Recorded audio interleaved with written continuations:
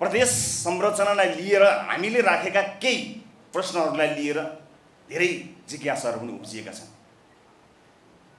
प्रदेश जुन ढङ्गको बनेको छ के संविधानले परिकल्पना गरेको प्रदेश अहिले जे देखिएको छ त्यही प्रदेश हो?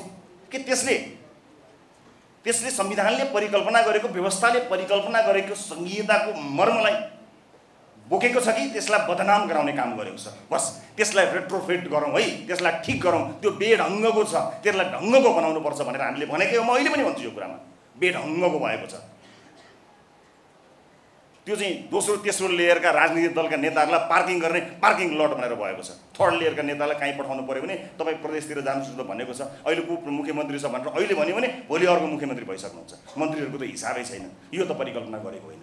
रेट्रोफिट गरौँ ठिक गरौँ। ठिक गर्ने चिजहरू ठिक गर्दै जाउँ। तर यो व्यवस्थाभित्र ताकत छ।